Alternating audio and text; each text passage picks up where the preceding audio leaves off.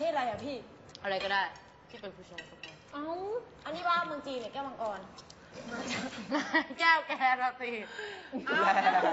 แก้วแพรวานี่ลองข้ามเอาใหม่เลยก่อนหนึ่งสองสามขู่ด้วยขู่แอคข้ามพ่นไฟพ่นไฟคนไปขู่ขู่นี่ขู่นี่ขู่เฮ้ยเมื่อวานอะ ใครเคยดูการ์ตูนเรื่องนี้ป่ะ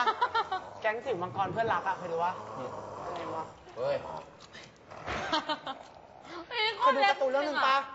จะแบบเป็นเด็กสองคนอะแต่หินที่อยู่ในลิ้นชักอะเป็นในโลกที่มีมังกรอะจะเห็นเหรออ๋อเฟรมจะเห็นเฟรม